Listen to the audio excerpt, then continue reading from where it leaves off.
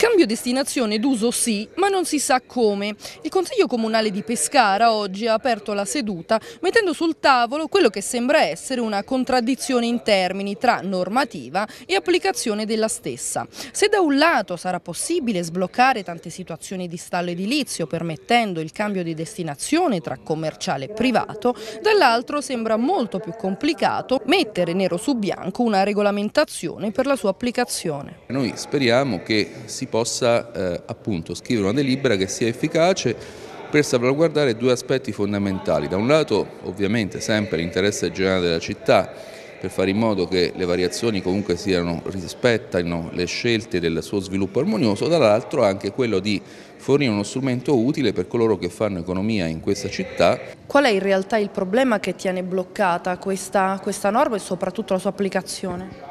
Ma innanzitutto il fatto che dopo 20 mesi dall'approvazione della norma statale il Comune non ha ancora disciplinato la materia per evidenti responsabilità di questa amministrazione comunale ma anche del governo regionale guidato da D'Alfonso che avrebbe dovuto recepire con una propria legge eh, la disciplina nazionale invece non l'ha fatto. C'è il rischio di un caos regionale?